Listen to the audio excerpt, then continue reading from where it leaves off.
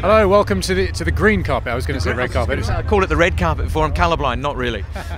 Uh, it's lovely to have you here. Um, what was it like the first time you watched the film? You saw yourself on screen with all the makeup and obviously quite a lot shorter. Speechless, actually. The 12 of us, um, uh, minus Richard and Martin, were sat in the Park Road Post Film um, Theatre and we sat there. No one said a word.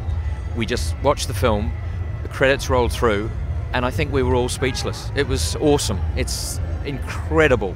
It's an amazing film. I, you know, it's very hard to look at yourself uh, on the screen sometimes because you wonder how it's going to turn out. Um, and I loved every minute of it. Uh, not just from my perspective, but everybody's performance. I mean, you're seeing some of the. I mean, Martin Freeman's performance is extraordinary. So is Richard Armitage. I mean, the boss is extraordinary. Sir Ian, unbelievable, unbelievable. And to work with these people, you know, Ken Stott.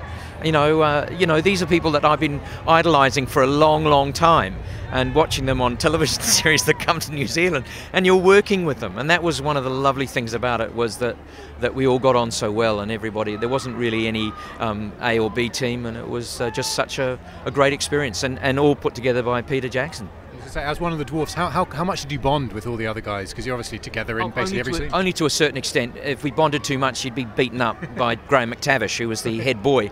Um, um, uh, Graham, no, they're, they're all fabulous. No one was. Um, no one was uh, misbehaving. We just had fun. And the interesting thing is, when we were having too much fun, Peter would feel he was missing out, so he'd want to join in. So he became equally as naughty, I think, as the rest of us. But but it was a really, really good shoot, and, and there's some the work uh, which is on the screen is is just awesome. It's fantastic.